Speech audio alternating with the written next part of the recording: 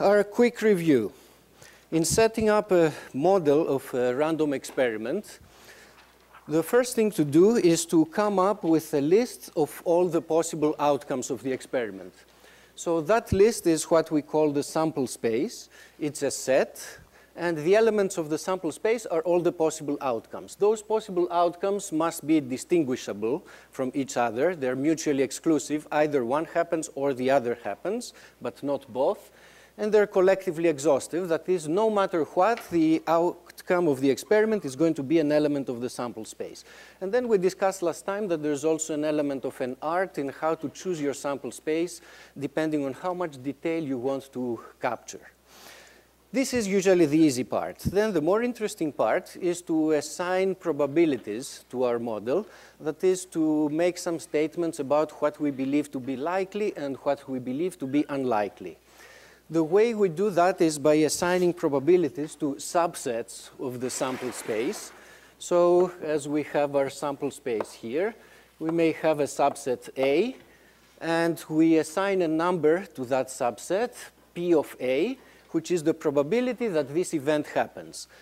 Or this is the probability that when we do the experiment and we get an outcome, it's the probability that the outcome happens to fall inside that event.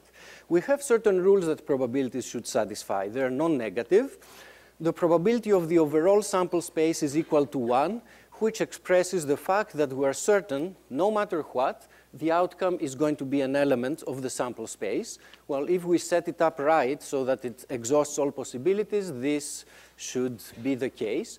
And then there's another interesting property of probabilities that says that if we have two events or two subsets that are disjoint and we're interested in the probability that one or the other happens, that is the outcome belongs to A or belongs to B, for disjoint events, the total probability of these two taken together is just the sum of their individual probabilities. So probabilities behave like masses. The mass of the object consisting of A and B is the sum of the masses of these two objects. Or you can think of probabilities as areas. They have, again, the same property. The area of A together with B is the area of A plus the area of B.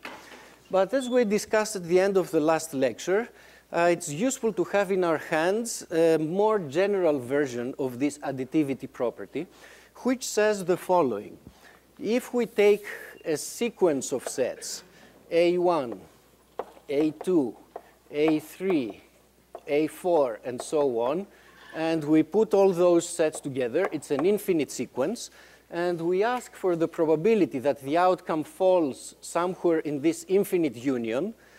That is, we are asking for the probability that the outcome belongs to one of these sets. And assuming that the sets are disjoint, we can again find the probability of the overall set by adding up the probabilities of the individual sets.